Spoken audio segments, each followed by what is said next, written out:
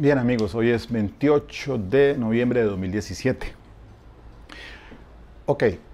como he, ido subiendo eh, ya dos sesiones del juicio del caso del homicidio del prestamista,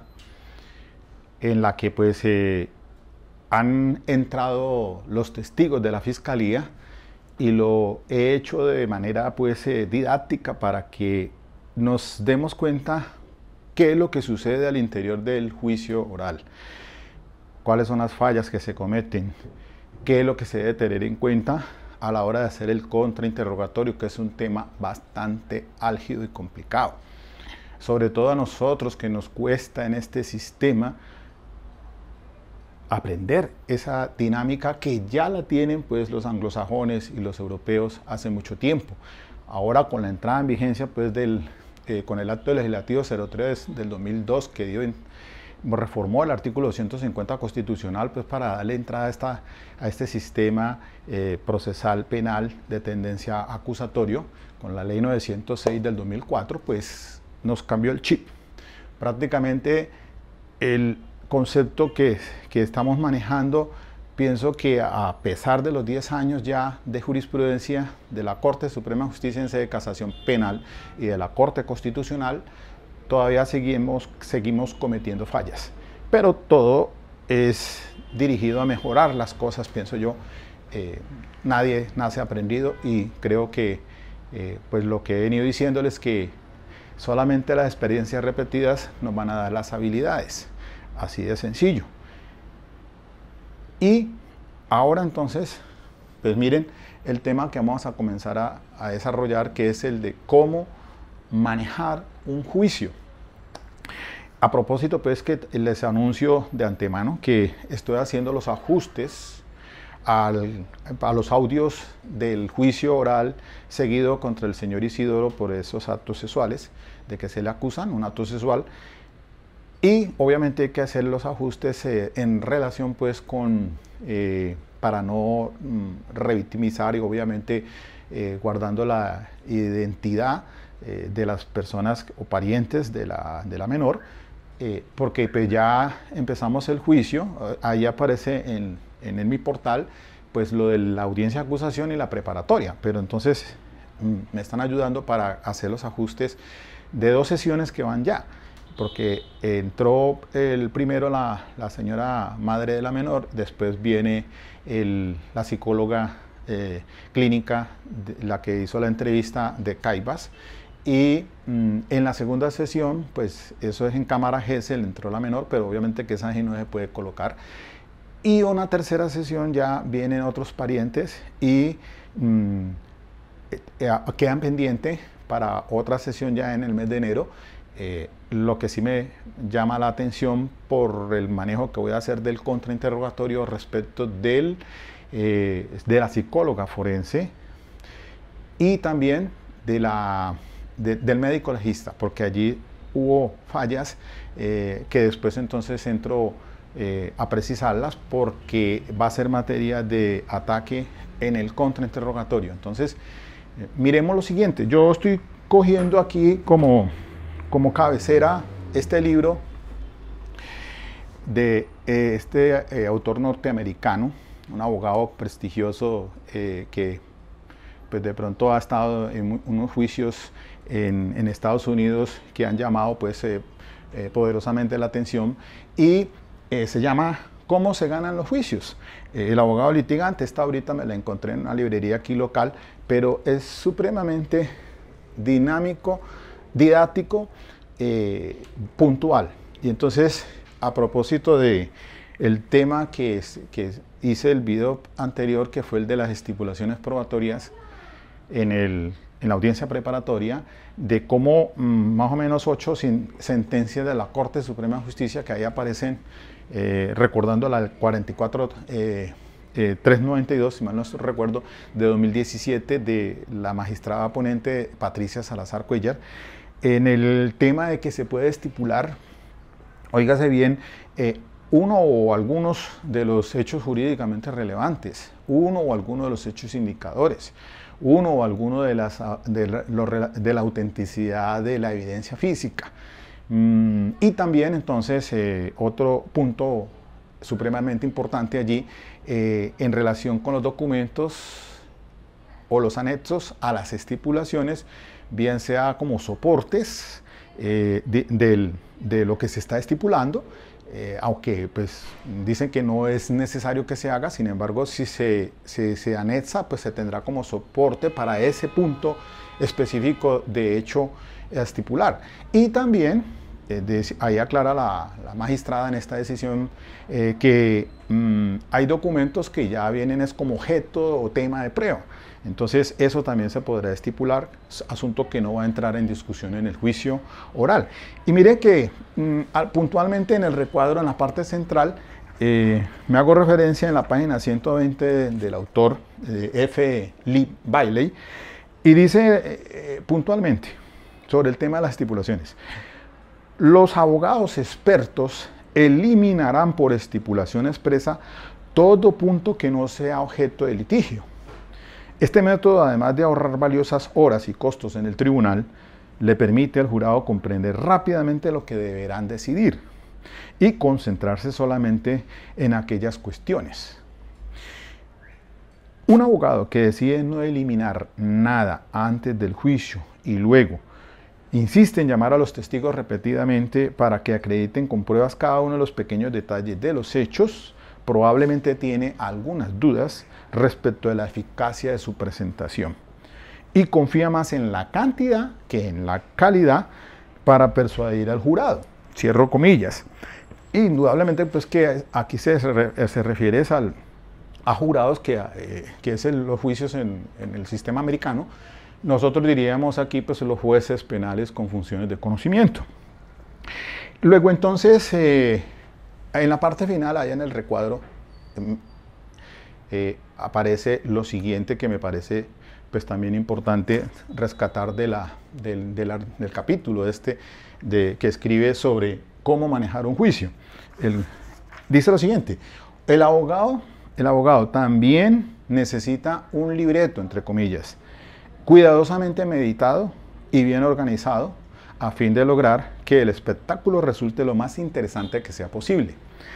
Y esto cuando se habla de abogado, pues eh, eh, cae para el fiscal como para la defensa, que son los dos únicos que están allá pues en el debate público. Y si ustedes miran entonces el caso de la sesión pasada del homicidio del prestamista, les dije yo que allí hubo un error, me parece a mí, eh, de la fiscalía, porque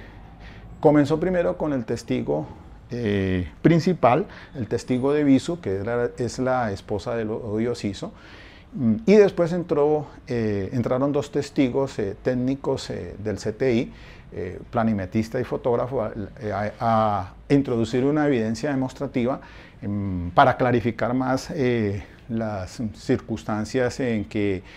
pudo haber sucedido al interior del inmueble el atentado contra este señor. Pero pienso que debió haber sido al contrario, es decir, primero en tener esa evidencia demostrativa y luego utilizarla, eh, en este caso la fiscal, a hacerle el interrogatorio al testigo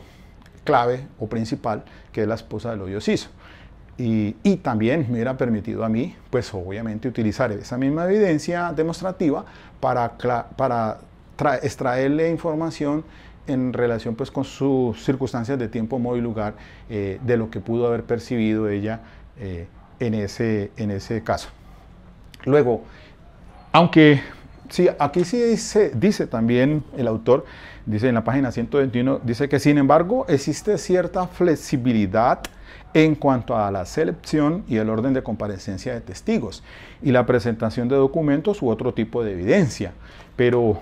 pienso pienso que sí, efectivamente, eh, sea el fiscal o sea la defensa, tiene que tenerla muy clara, bien organizado en el tema pues de qué es lo que primero va a llegar al juicio. Porque, pues si mire lo que dice allá, repito, el abogado también necesita un libreto cuidadosamente meditado y bien organizado a fin de lograr que el espectáculo resulte lo más interesante que, posible, que sea posible. Sí, eso es verdad. Uno de los principios que rigen el sistema, el principio rector, aparte de la inmediación, de la contradicción y la confrontación que ha hecho recalcado mucho, sobre todo la magistrada ya mencionada, el tema de la publicidad, porque es que a estas eh, audiencias públicas están presentes eh, las demás personas allí observando el desarrollo de ese juicio oral. ¿Quién más que es el público el que está haciendo la censura y haciendo el seguimiento de lo que está viendo allí? Y obvio que el juez pues es el que el moderador, el que está allí eh, bajo esos principios ya referidos, el que tiene que después tomar una decisión eh, en relación con el caso de acuerdo a todo lo que le entre bajo esos principios rectores del artículo 15 y 16 del Código de la Ley 906 para resolver entonces con fundamento en el artículo 382 del Código de Procedimiento Penal. Y esta mañana, pues una compañera de la Defensoría Pública aquí de Adolescencia eh, me dice, me hace una pregunta interesante eh, y es la siguiente. Miremos aquí. Me, parece a mí huelga la, oportunidad pues eh, de pues, resolver este tema que quizás ya eh, lo había dicho pues en otra, en otra oportunidad, en otro video, eh, cuando me refería al libro del, profesor de Medellín, el, doctor Nanclares,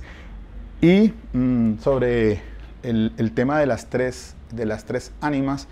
del sistema penal acusatorio. Entonces, de que dice el, el, autor que hoy por hoy pues el tema de la sana crítica está mandado a recoger, que ahora la evaluación pues de los medios de conocimiento pues se hace ceñido a lo que indica aquí el artículo 382.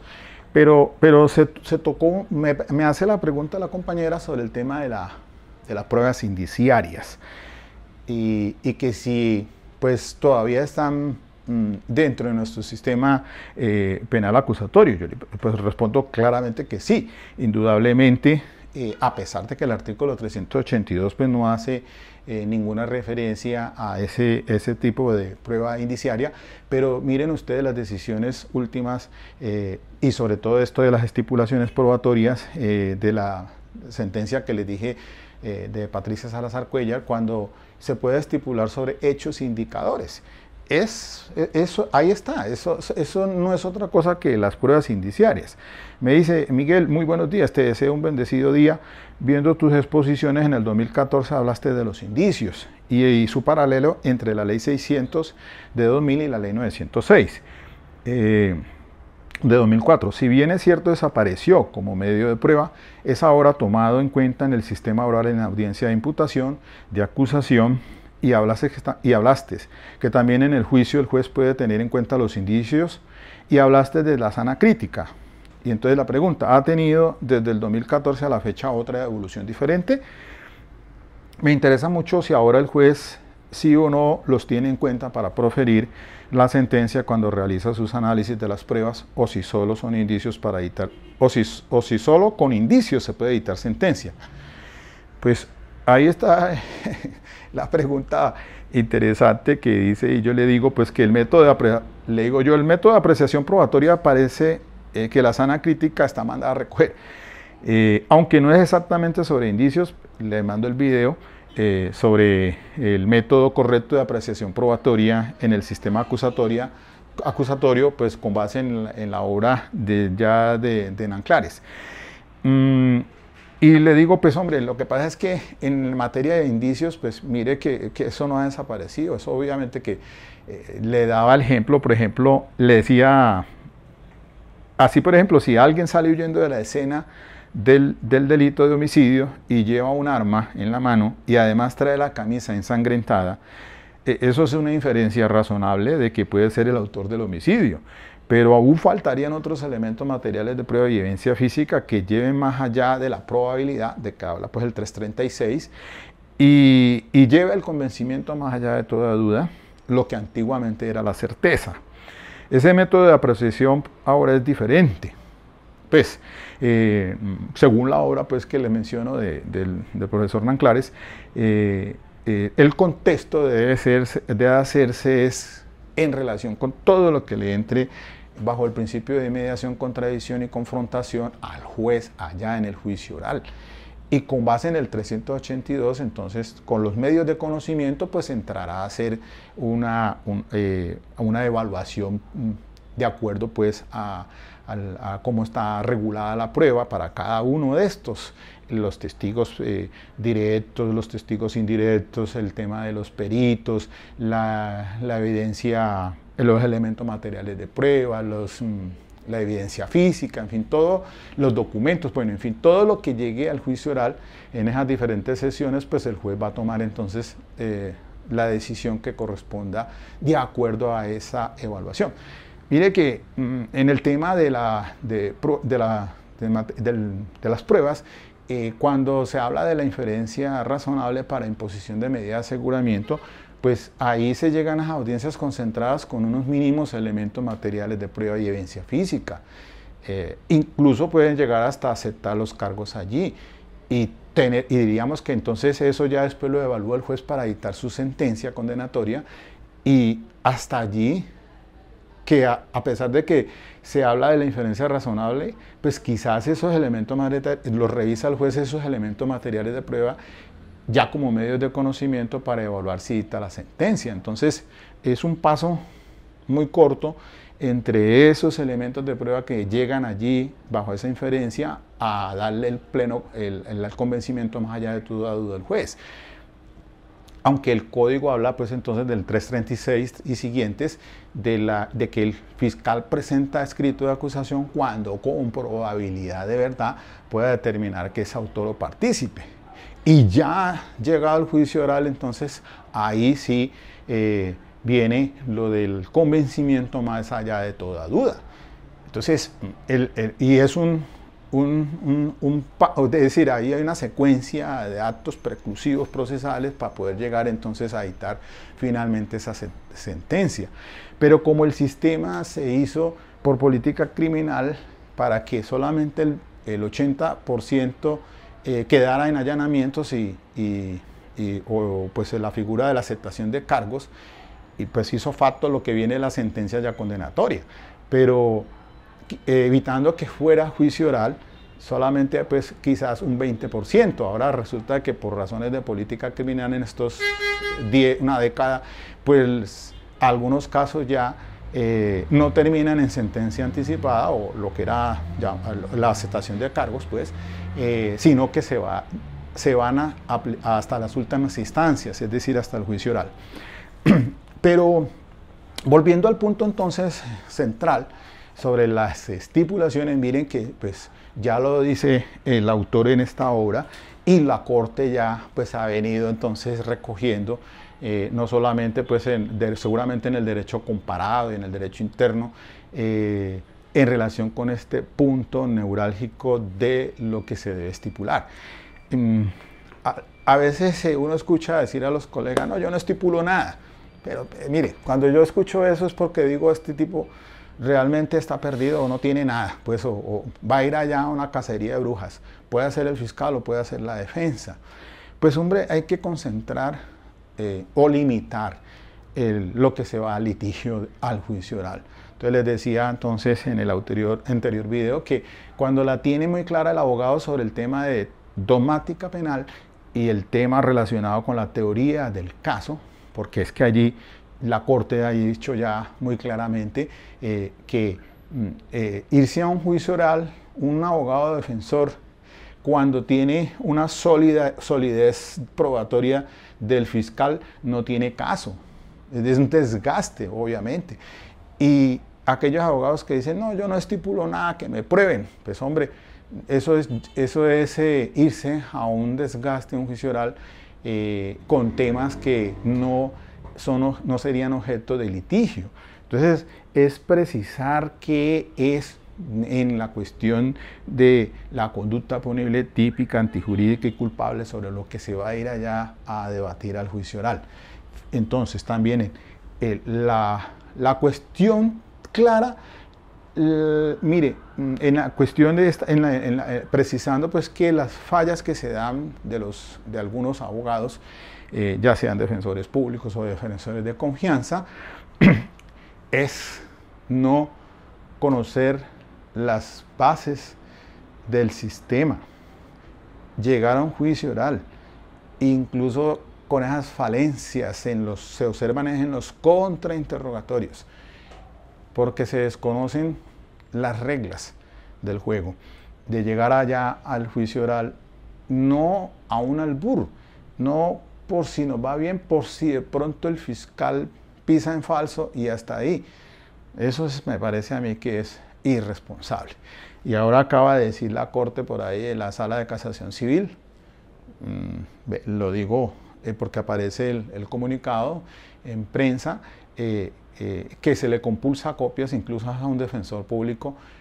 por su negligencia en eh, llevando un caso de una persona, pues que un usuario. Mm, obviamente que no va a decir, por, en esencia, el 99.9 de los defensores públicos, me incluyo, eh, son personas serias, responsables y cumplidoras de su trabajo. eso sí, no lo pongo en discusión. Mm, y habrán también abogados de confianza, pues que cometen cantidad de errores. Eh, recuerden ahorita una reciente sentencia de un caso de Tuluá de una abogada que llegó a la audiencia preparatoria y no tenía ni cinco ideas del tema de cómo se daba el desarrollo de la audiencia preparatoria. Incluso los jueces, cuando ven ese asunto, deberían pararla. Y ahí en este caso, de, en este caso es un trámite de un divorcio, el juez, al juez le están también tirando las orejas porque él debió haber, a pesar de que era un defensor público, pues debió haber parado el asunto y cambiar a ese abogado.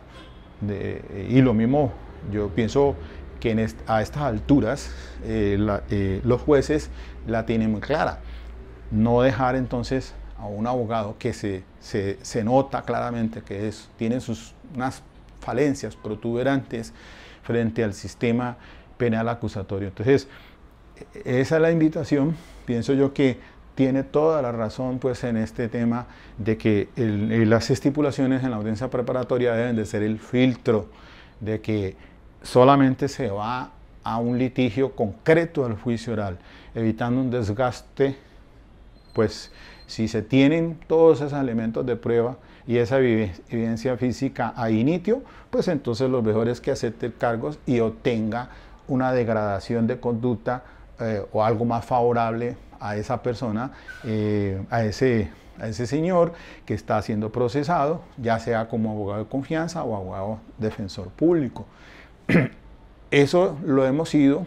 evaluando ya y les decía yo en estos días, pues con base en ese estudio que hice de estadístico, a 150 y pico casos ya que tengo aquí como defensor en adolescentes, pues que en realidad se está cumpliendo eso de que el 80% de lo que termina en, anticipadamente y es muy poco lo que se está yendo a, juicio oral. y quizás entonces mm, ahí es donde se da uno cuenta pues de cómo le va finalmente a ese abogado litigante de hoy en día eh, que entra pues a un juicio oral. Entonces ahí eh, hay que tenerla muy clara cuando se va a ir a un juicio oral es porque usted ya ha estudiado el caso y tiene, puede tener unas aristas eh, defensivas que le favorezcan al, procesado. Yo por lo menos en este caso que estoy haciendo, el, que ustedes han visto, el del prestamista, pues la tengo muy clara que este señor eh, está ajeno completamente, ha sido acusado de algo que no ha cometido allí. Y quizás también en el caso de Isidoro, que ustedes van a ver después entonces en las secuencias, porque eh, he manejado la teoría en, ese caso, en este último caso, el del síndrome de alienación parental. Parece ser más que todo obedece a una manipulación para poder entonces indilgar unos cargos a esta persona. Y eso se va dando cuenta es en el desarrollo hasta del mismo juicio oral, eh, cuando viene la carga procesal de parte de la fiscalía y finalmente la que le corresponde a uno. Pero ya entramos con una teoría del caso, ya, los investigadores tienen recogidos los elementos de prueba y usted en la preparatoria ya definió en el decreto de pruebas qué es lo que va a ir al juicio oral. Ahí el juez ya se va dando cuenta. Los jueces, ah, eh, desde la audiencia de acusación y sobre todo en la preparatoria, la tienen muy clara si, si, cómo va el fiscal o, cómo va la defensa. y para dónde va ese señor. Si va para el matadero o, o, la expresión, o realmente eh, allí es un caso injusto que se, está cometiendo con, se está cometiendo con esta persona y se está llevando hasta un juicio a veces eh, eh, no teniendo muy claro el fiscal al elevar un escrito de acusación sin fundamentos, sin tener esa probabilidad de verdad más allá de la duda que debió haber más bien evitado irse a un desgaste de un juicio oral y pedir, una preclusión quizás. Entonces, mis queridos amigos, de todas maneras espero que esto les, les sirva. Voy a seguir en esta voy a seguir haciendo unos análisis de este eh, autor, eh, F. Lee Bailey, eh, en su obra Cómo se ganan los juicios. Entonces vamos a mirar el tema otra vez de los contrainterrogatorios para que entonces mm, mm, miren ustedes allí en estos casos que he ido subiendo, pues al menos darse cuenta uno que no es nada fácil manejar el contrainterrogatorio. Eso, eso sí necesita de una preparación, una concentración, porque a veces a uno se le va la paloma cuando están esos juicios orales y más cuando tiene usted allí eh, no solamente al fiscal dándole garrotes y también a los representantes de las víctimas y hasta el Ministerio Público y a veces hasta el mismo juez que toma eh, partidos que no debe ser bajo esa figura de que el juez debe ser imparcial. Y ustedes han visto ya las decisiones de la Corte en relación con los interrogatorios que hacen los jueces. Los jueces se equivocan allí haciendo preguntas disque complementarias y están o bien es apoyando al fiscal o apoyando a la defensa. Él debería ser completamente ajeno ese juez. Incluso yo pienso que un juez, e, esas audiencias de acusación y preparatoria debería ser otro juez. Y que se llegara al juicio este juez virgen, con esa cabeza vacía en el tema pues, de, las pruebas, porque ahí le empiezan entonces a fabricar y a reconstruir esa escena en ese juicio oral y él entraría entonces eh, no contaminado, esa es la palabra, no contaminado, porque pienso yo que hay en esas audiencias preparatorias los jueces se contaminan, le pongo la firma,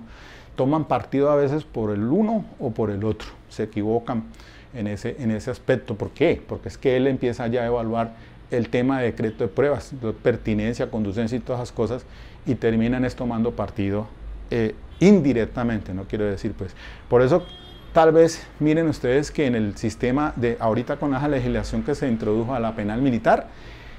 el juez es diferente. Allí sí, el juez, de, el juez que va a resolver el tema de acusación y preparatoria es otro, y se llegará a juicio oral ante un juez mm, ya eh, diferente, que apenas es nuevo, que apenas entra a conocer qué es lo que se va a dar en el debate probatorio. Eso debería hacerse un ajuste legislativo ahí, me parece a mí, eh, allá en, el, en, el, en, lo que se ha ido desarrollando eh, paulatinamente. Por lo menos miren ustedes la ley esta del procedimiento abreviado. Ahí cambió el tema este del escrito de acusación. Ahora llega una audiencia allá y el fiscal llega y le dice, pues tenga el escrito de acusación. Se lo entregan ahí en las audiencias concentradas. Ni siquiera, eso parece ser que ya es inoficioso entrar a estas audiencias de acusación eh, donde le dan lectura el juez, a, el fiscal a ese escrito de acusación y parece ser que de acuerdo a esto, a este asunto por política criminal, entonces ya están eliminando esa audiencia y se va solamente esa ahorita a la audiencia preparatoria y allá es donde se, se da traslado, se, se, hacen las observaciones al escrito de acusación. Ya lo ha tenido, sí, pues es que es que la verdad, pienso que ese escrito de acusación se lo entregan a uno, no ir a esa audiencia de acusación, sino a la concentrada, a la preparatoria, y quizás eso lo, ya lo tienen que mirar el legislativo a ver si modifican ese artículo, eh, esa, esa, para acá, para, pues, para la ley 906. y yo voy más allá. Ese, esa audiencia preparatoria debería hacerla otro juez completamente diferente, que se llegara a juicio exclusivamente entonces ya al debate probatorio, pero con un juez diferente. Bueno, mis queridos amigos, espero que esto les sirva. Ahí vamos entonces a ir desarrollando poco, poco a poco estos temas y ahora que subo ante los videos eh, en relación con el caso Isidoro por actos sexuales, pues ahí van ustedes a ver el, sobre todo ese contrainterrogatorio que le hice a la psicóloga de, de, clínica de Caibas. Y allí se pela más de uno porque ahí el manejo debe ser muy cuidadoso y también con los médicos legistas que también los psicólogos forenses se equivocan. Yo aquí les tengo preparado algo que les va a hacer resultar interesante porque ese, el, el informe pericial con errores, completamente transliteraciones, pero desfasados completamente. Parece ser que quien le digita al psicólogo y el psicólogo va firmando esos informes y ahí entonces voy a atacar ese, ese informe pericial. Bueno, muy bien, entonces les dejo adelanto esto y espero pues que les sirva eh, en estas tareas didácticas de cómo entonces eh, vamos a ir viendo el tema del juicio oral. Ok, mis amigos, buen fin de semana.